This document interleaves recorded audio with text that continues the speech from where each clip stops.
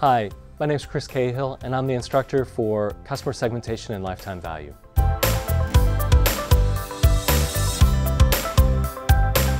I come from a non-traditional, non-analytics undergraduate experience. Uh, I uh, studied political science and then did a minor in Spanish literature in college.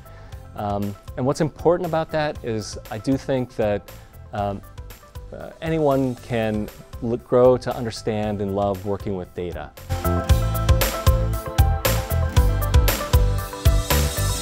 My expectation is that not every student who takes this course will end up as a marketing analyst working with reams and reams of data.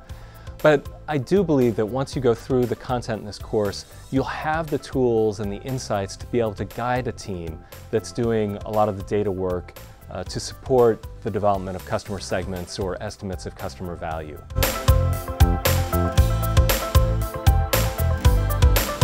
I love working with data. I've always loved working with data.